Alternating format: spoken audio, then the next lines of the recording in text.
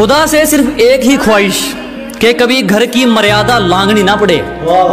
कि उस ऊपर वाले से सिर्फ़ एक ही ख्वाहिश कि कभी घर की मर्यादा लांगनी ना पड़े और करोड़ों नहीं कमाने मेरे भाई। बस इतना बहुत है कि कभी किसी से कोई चीज़ मांगनी ना पड़े।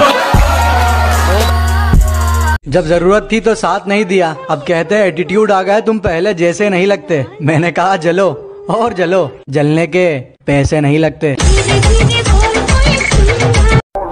औकात दिखाने के लिए भटकना भी ज़रूरी है।